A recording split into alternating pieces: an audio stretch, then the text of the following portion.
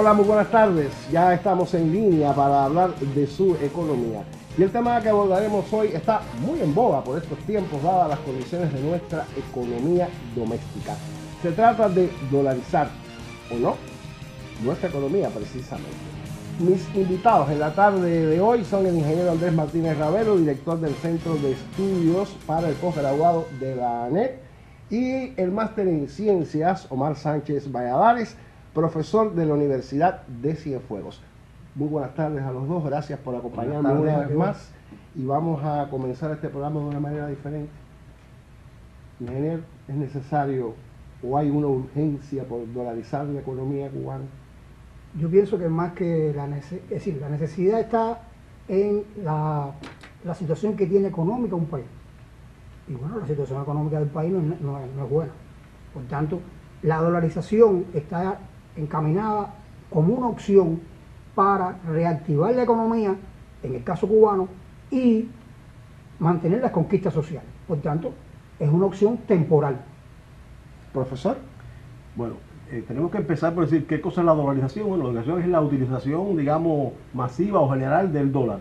En sentido general tenemos que aclarar que en Cuba no se está haciendo una dolarización total, sino una dolarización parcial. Y coincide entonces en utilizar esa moneda, el dólar, para hacer ciertas transacciones, por supuesto. ¿En qué, ¿En qué medida es necesario o no? Bueno, si estamos en una situación de crisis económica difícil, pues tenemos que buscar las alternativas y a través de los mecanismos financieros, pues buscar incluso que nuestro nuestro peso, el, peso nuestro, la moneda nacional nuestra, por supuesto, se eh, levante su valor. ¿Cómo lo puede hacer? Hay que utilizar las monedas extranjeras. Y por supuesto el dólar todavía sigue siendo la moneda hegemónica que utiliza mucha gente. Incluso el dólar es económicamente fuerte y además desde el punto de vista psicológico la gente cuando piensa en dólar, incluso por ejemplo en Cuba, en cualquier parte del mundo, mucha gente dice el dólar. Y realmente cuando se habla de otras monedas parece ser algo incluso, bueno, eh, relativo, eh, un poco podríamos decir de menos importancia el dólar.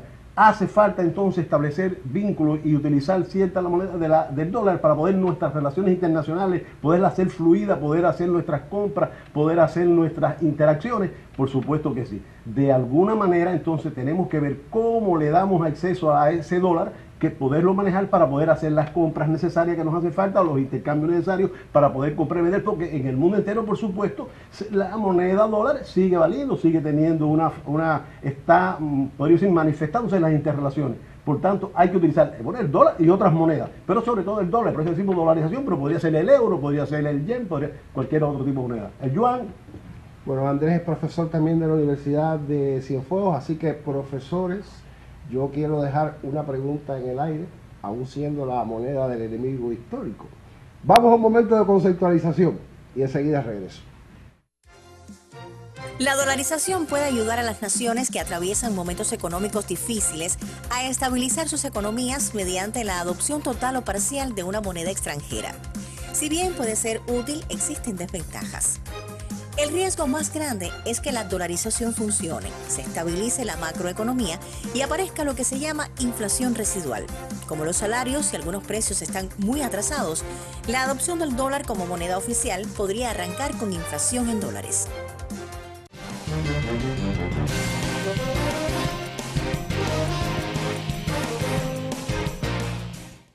A ver, conversaba aquí por interno, economía, política, bueno, pues la política también tiene mucho que ver con la economía y precisamente por eso hacía esta interrogante. Siendo aún la moneda del enemigo histórico, ¿podemos dolarizar nuestra economía? Profesor. Bueno, la respuesta es que esa moneda que utiliza, el dólar la utiliza, que por supuesto, el concepto de enemigo histórico, pero las interrelaciones de alguna manera esa moneda vale, fluye, se intercambia. Tenemos que utilizar. Es por tanto muy inteligente, sencillamente ver al enemigo y a ese enemigo en este caso hay que verlo entonces como que la otra parte. Y esa otra parte tiene un tipo de moneda, se puede intercambiar con ellos o con otros. Bueno, pues vamos a utilizar esa moneda. Porque la pregunta que podríamos hacer entonces, ¿cómo nosotros podríamos pagar nuestras transacciones?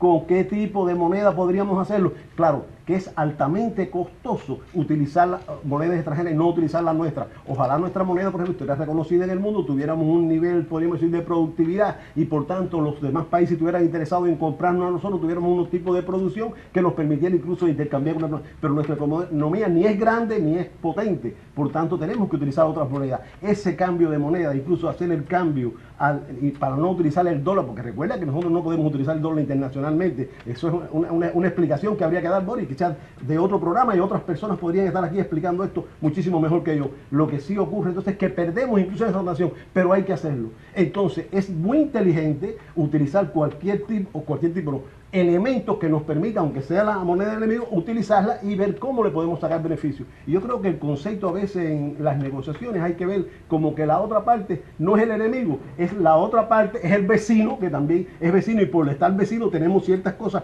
podemos tener en común y no. Y por supuesto, Cuba siempre ha estado abierto a unas relaciones adecuadas y correctas con los Estados Unidos. Habría que ver entonces, preguntarse qué ha estado pasando. Incluso pues, alguien podría decir, bueno, podríamos haber hecho más, podríamos haber hecho, pero no, eh, al menos en mi opinión personal, realmente de alguna manera las relaciones han estado taradas desde el punto de vista de que no, no lo quieren permitir, no lo quieren hacer. O sea, hay que buscar la flexibilidad, porque realmente la política es el arte de lo posible. Hay que buscar posibilidades para mejorar nuestra economía, para que la gente pueda acceder. Incluso alguna gente se cuestiona o se pregunta, pero es que no me pagan en dólares, pero para que tú ganas en pesos, viendo entonces que podríamos decir, utilicemos algo de dolarización de la economía, podría permitir que ese dólar le valiera un poco más y tú pudieras acceder. Por tanto, los decisores en el país tienen que estar preocupados y ocupados por buscar de manera tal que los salarios tengan las posibilidades de la gente acceder a los productos o servicios que reciben.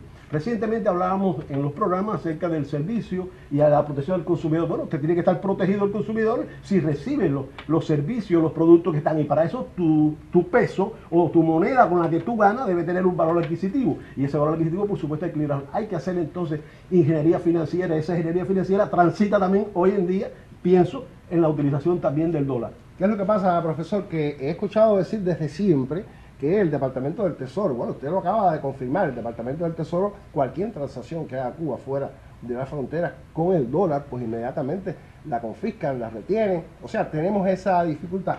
Y escuchaba al, primer ministro decir hace muy pocos días eh, sobre esta parcial dolarización de la economía, pagos en dólares en la zona franca del Mariel, la obligatoriedad de las transacciones de toda esta economía privada también en dólares. Entonces, bueno, por ahí es que eh, andaba esta posibilidad de hablar con usted acerca de esta dolarización parcial de la economía. Andrés, entonces, ¿a dónde vamos? ¿Qué, es lo que pretendemos con, esta situación?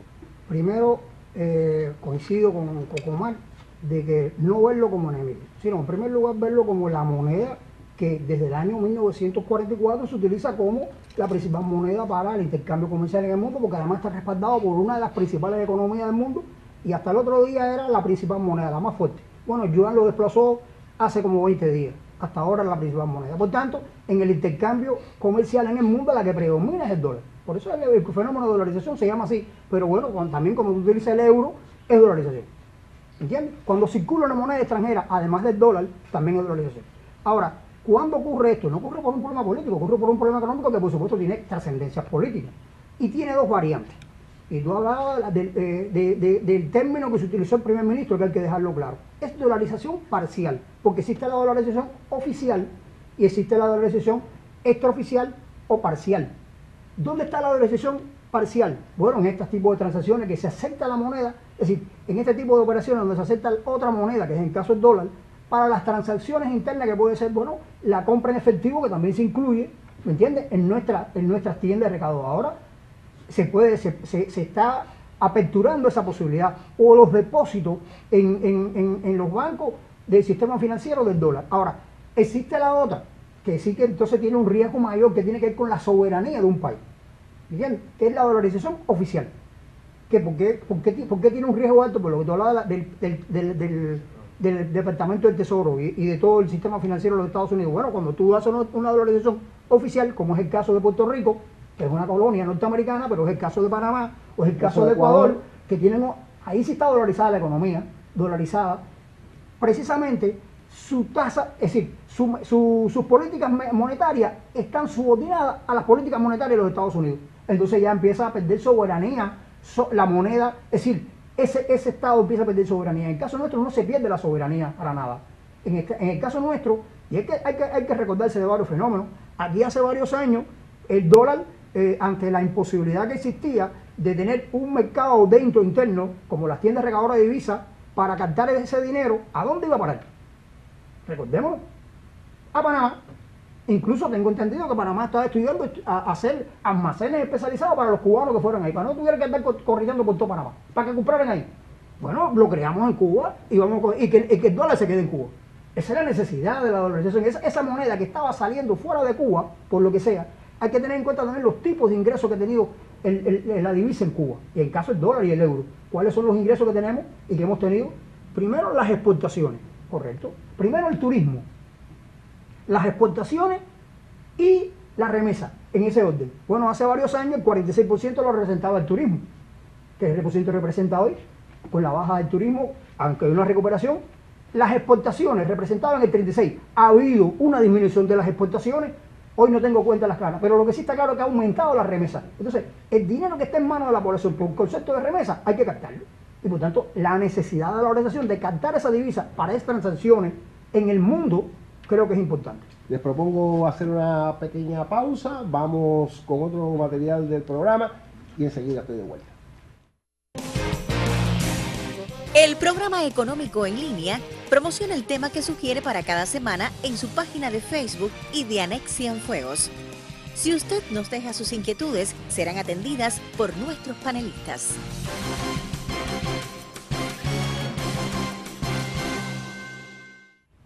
Bueno, eh, me ponía de acuerdo acá con mis invitados porque les decía que hay una tendencia en el mundo, estas grandes potencias fuera de la América Latina, con independencia de lo poderosa o la incidencia que pudiera tener todavía la economía de los Estados Unidos en el mundo, pero hay una tendencia a suprimir el dólar como moneda de cambio, como moneda en los mercados y entonces nosotros vamos a una dolarización parcial de nuestra economía. Sigo insistiendo, ¿cuán beneficioso nos puede resultar eso? Bueno, Boris, podríamos decir lo siguiente. En primer lugar, hay que decir que Estados Unidos, con la existencia del dólar y su hegemonía a nivel mundial, tienen eso una fuerza tremenda. Incluso es el, podríamos decir, el potencial, la manera más de imponer su economía en el mundo entero. Ahora, ¿qué pasa? Últimamente han, han estado surgiendo otras, otras potencias emergentes, los llamados BRI. Y usted decía, pero quiero aclarar también que Brasil forma parte de BRI.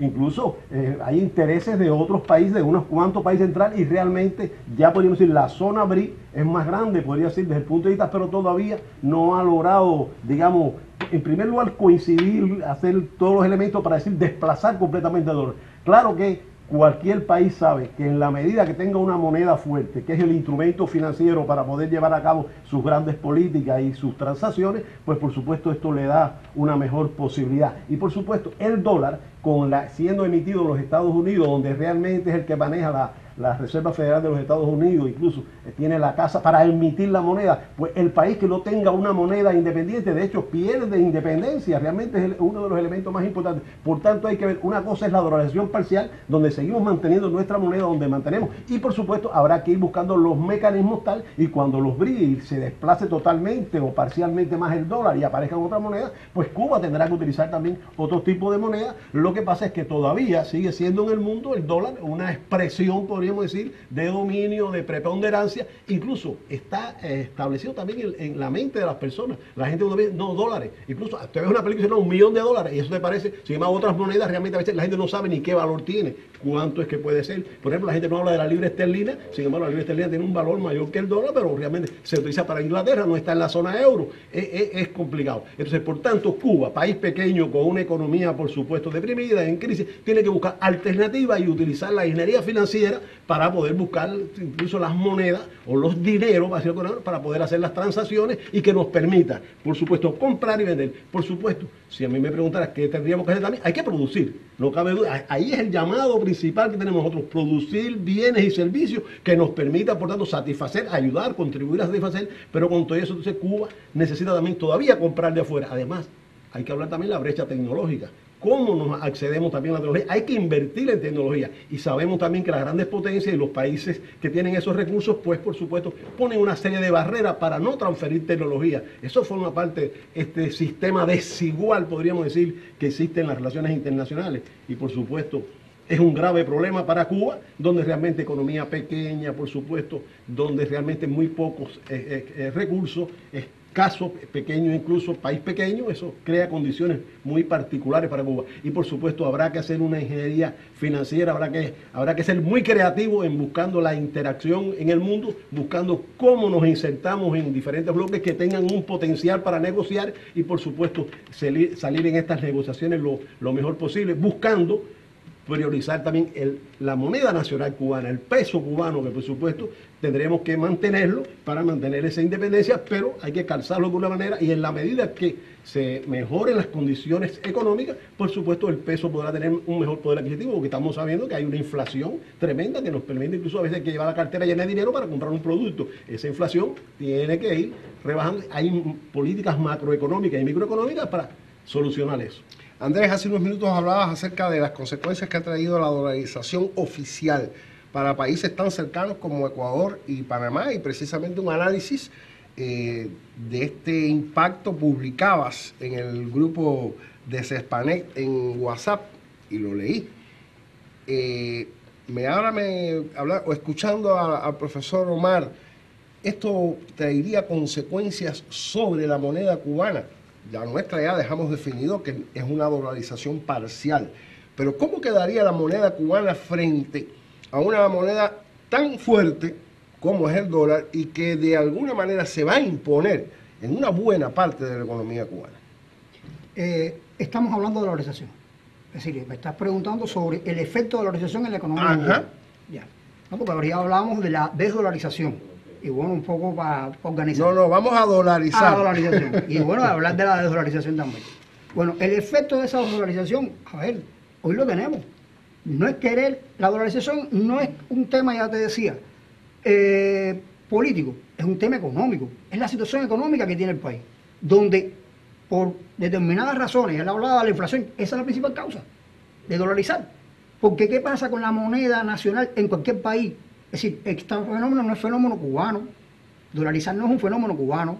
Ah, lo que pasa es que en Cuba lo estamos viendo más cerca, pero ocurre en cualquier otra parte del mundo. Argentina, cuando tú buscas las publicaciones, Argentina es de los países que está reconocido con, el tema de la dolarización parcial. Igual que Venezuela, que lo ha estado también, u otros países. Entonces, ¿dónde está el tema? En, la, en eso que decía Omar, de que tenga un respaldo económico tu moneda. Nosotros, por supuesto, hemos estado acechados y todos los temas que han estado implicando que nuestra economía no tenga ese respaldo que tiene que tener el dólar, la moneda nacional. Ahora bien, ¿qué impacto puede tener? Bueno, hoy lo estamos sufriendo. Hoy, desgraciadamente, hemos tenido que acudir porque se reconoce las funciones del dinero, son tres, o al menos reconocidas tres. Uno, como función de cambio, sí, como en el intercambio. Bueno, si usted ve que su moneda su moneda no es, no, no, no, por los problemas inflacionarios, es mejor utilizar una moneda extranjera, eso es lo que pasa, cualquiera que sea, euro, yen, yuan, dólar, y dice, bueno, para el intercambio es mejor porque se deprecia menos o porque tiene menos, menos, menos precio inflacionario la mía, esta que, que me estoy utilizando, dejo la mía a un lado. Es decir, en el intercambio cuando se reconoce es una función. El otro es como depósito. Y empezó a depositarla. Entonces mi moneda empieza a perder funciones, tanto de depósito como en, los temas de intercambio. Y bueno, por último, como función de precio. Bueno, ya cuando llega un momento, no ha llegado en Cuba, pero puede ser función de precio en su momento. Es decir, no es tanto el impacto como la necesidad, porque precisamente ante ese incremento de la inflación, nuestra moneda ha perdido ante el dólar función de, de intercambio, ha perdido función de depósito. Y súmala a eso, un tema que tiene que ver con, él hablaba de temas psicológicos, yo digo temas de, eh, de seguridad, de fidelidad.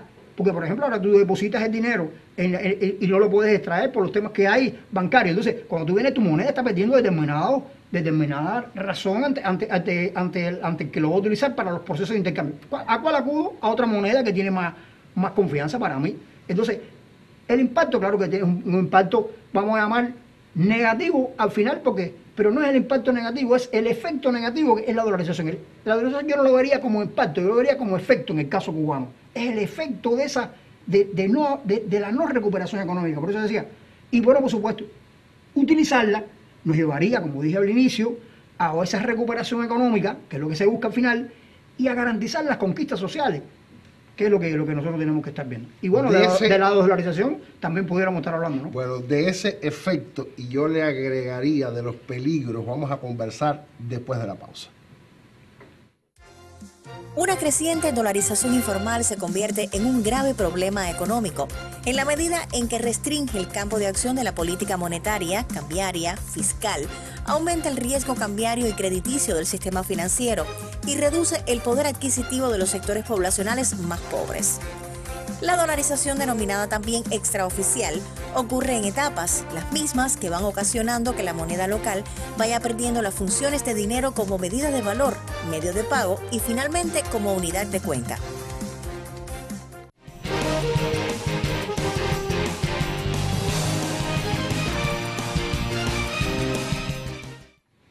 Voy a poner las pautas como moderador de este programa. Voy a hablar ahora del efecto que me decía el ingeniero Andrés y de los peligros que yo le añadí, pero la desdolarización me la dice Andrés, así que profesor, le toca a usted efectos, peligros que tiene el dolarizar, aunque sea mm, de manera parcial, una economía y en una situación tan particular como la nuestra en cierta medida, cuando tú utilizas una moneda que no es la tuya, de hecho tiene una peligrosidad por el manejo que pueda haber, ya hemos explicado acerca de eso. No obstante, la pregunta que tendríamos que hacer es, ¿tenemos, es adecuado, es correcto aplicar una parcial dolarización? Yo pienso que sí aplicando los instrumentos, cuidando nuestras políticas, podríamos decir, macroeconómicas, que nos permiten incluso proteger a nuestros clientes, a nuestra población, teniendo en cuenta la inteligencia suficiente para hacer las mejores transacciones, nosotros necesitamos creemos que se puede mejorar incluso esas relaciones y por tanto la economía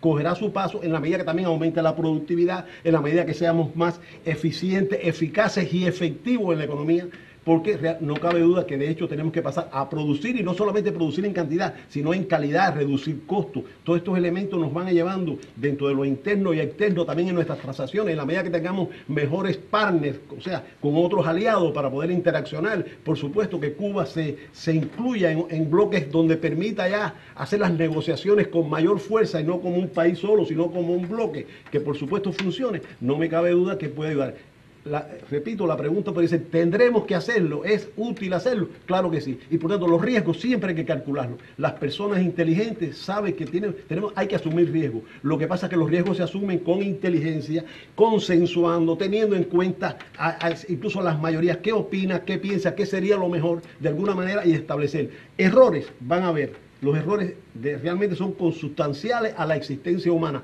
Lo que pasa es que hay errores y errores. ¿Cómo usted trata de simplificar o minimizar los errores? En la medida que demos participación, que demos empoderamiento, que se hable incluso en las empresas con los trabajadores, con la gente, que de alguna manera se logre el consenso, la interacción, las explicaciones, la comunicación. La comunicación, bueno, hemos hablado en algunos programas de comunicación, en algún momento habrá que seguir hablando de la comunicación. Hay que comunicar, hay que dar mensaje que la gente entienda ciertas cosas, porque además la economía no es algo que tú resuelves de ahora para ahorita. Todo lleva un poco sus plazos y sus momentos. Incluso hay producciones que necesitan, por ejemplo, casi un año para producirlo o más. Entonces, no es algo que podamos resolverlo y, digamos, inmediatamente alguna gente querría que se toma la medida y que ya, no. Hay que irlo aplicando poco a poco. Lo que sí pasa, hay que verlo con optimismo y, por supuesto, ir corrigiendo errores y aplicando estrategias adecuadas y utilizar la ingeniería financiera y los conocimientos que hay de otros, experiencias de otros y también la de nuestros. No se olvide que somos bastante peculiares y en eso tenemos entonces que hacer, por supuesto, nuestro aporte a esas relaciones. Se me queda por dentro, ¿sabe? Que hay, yo he conversado con personas inteligentes y están escandalizadas por este asunto de la dolarización parcial de la economía.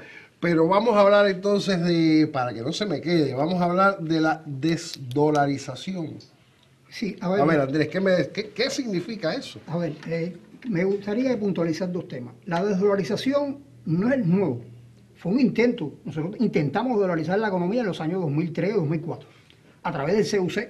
Eso fue un intento de dolarizar la economía, donde apareció un peso convertible que realmente no tenía que utilizarse el, dólar, se había legalizado en el año 94 como moneda de cambio y se utilizó para tratar de dolarizar la economía. Lo que pasa es que ese dólar, ese SUC, tuvo, como hemos conocido, una historia que empezó bien y tuvo después, como dice, como dijo Marino Murillo en su momento, una emisión inorgánica de moneda. Es decir, y ese proceso inflacionario que, estamos viendo ahora lo tenía escondido detrás del el, CUC. Por tanto, yo creo que es un tema. Es decir, el proceso de dolarización no es nuevo, pero lo tratamos de hacer desde nuestra economía.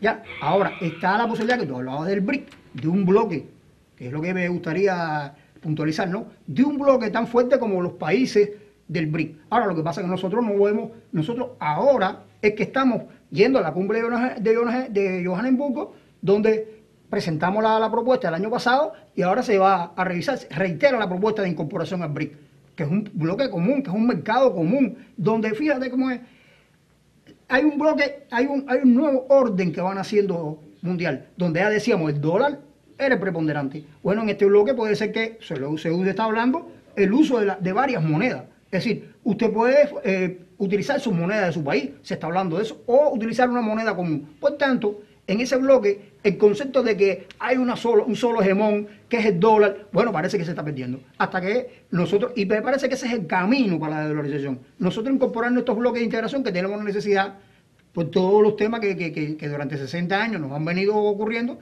y que es un mercado, ya te digo, fortalecido, que tiene un, peso importante en, el PIB mundial, ¿bien? Y que eh, va creciendo ante, en un mundo bipolar. Muchísimas gracias, profesores. Eh, Omar se quedó con algo por decir, así que, pero el tiempo, el tiempo, el implacable, el tiempo se nos termina y siempre tengo esa sensación de que algo más pudiéramos aportar para que usted y nosotros también aprendamos de nuestra economía. Nos vemos el martes próximo, 4 y 30 de la tarde en Perla Visión, sábado 8 y 30 de la mañana en Radio Ciudad del Mar. Buen resto de jornada.